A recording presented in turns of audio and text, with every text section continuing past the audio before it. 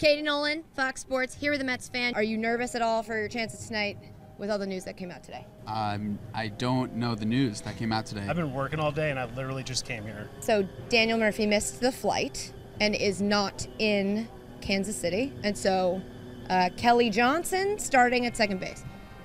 You serious? Yes. I refuse to believe that. Okay, well, Kelly Johnson's probably going to hit a home run because it really doesn't matter who plays second base. They just hit home runs for us. I believe in Cespedes. I believe in Matt Harvey. The pitching is going Well, to be. so but so, okay, this is awkward. So you didn't also hear that Matt Harvey will not be pitching in the World Series.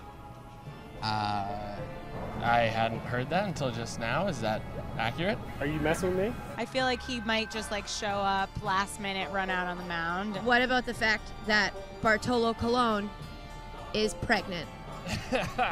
um, that scares me a little bit. Bartolo Colon Is pregnant. Again? That scares me. Yeah, I'm honestly not as surprised about that.